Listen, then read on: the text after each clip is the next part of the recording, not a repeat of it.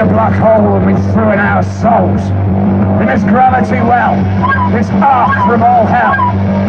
We spread the dread as we fed on the dead. There are no dogs. There are no butterflies. No one has eaten beef in 1500 years. There are no bees. There are no butterflies.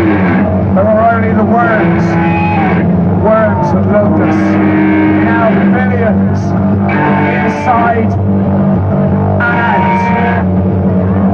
and with all ingenuity, creativity and invention nearly ended up wiping out 90% of the life on this planet, including himself.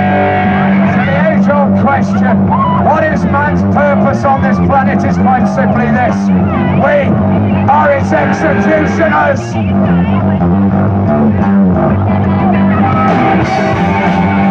And as the waters rose, planet Earth stifled, choking, suffocated under a blanket of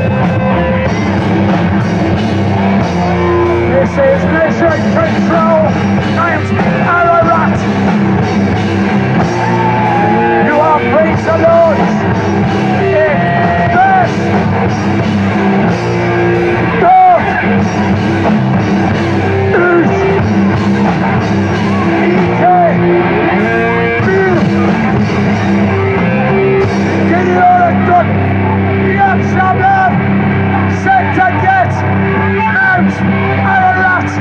Out!